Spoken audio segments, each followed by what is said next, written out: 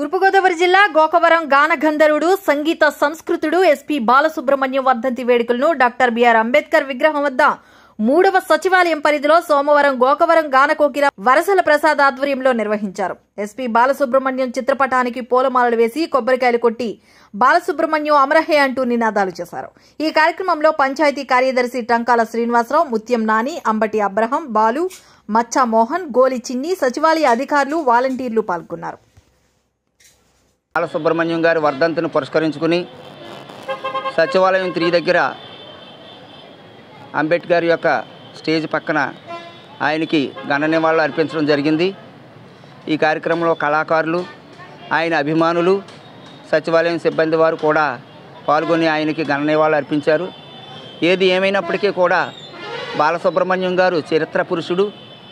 ఎందుకంటే పదిహేడు భాషల్లో యాభై వేల పాటలు పాడినటువంటి గనుడు. ఒక ఆంధ్రప్రదేశ్ కాదు భారతదేశం అంతా కూడా కన్నీళ్ళు పెట్టుకుని ప్రధానమంత్రి దగ్గర నుంచి ముఖ్యమంత్రి వరకు కూడా ఆయనకి ఘన నివాళులు అర్పించి ఆయన అంత్యక్రియలు ఎంతో అద్భుతంగా జరిపించినటువంటి భారత విధానాలు రాజ్యాంగ విధానాలు చూసుకుంటే ఆయనకి మరి ఎంతో గౌరవం ఇచ్చారు ఆ రోజు.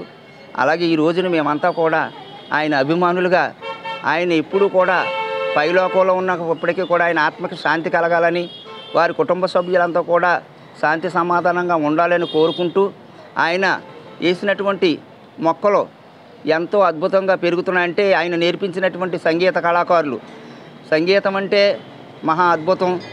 ఆ అద్భుతంలో నుంచే ఆయన ఏమీ సంగీతం నేర్చుకున్నటువంటి వ్యక్తి కాదు. కానీ భగవంతుడు ఆయనకు పూర్తిగా సంగీతం ఇచ్చి ఏ పాటనైనా అవలేలగా పాడగలిగేటటువంటి మహా గొప్ప మనిషి. అంతేకాదు ఆయన క్రైస్తవ పాటలు కూడా పాడాడు.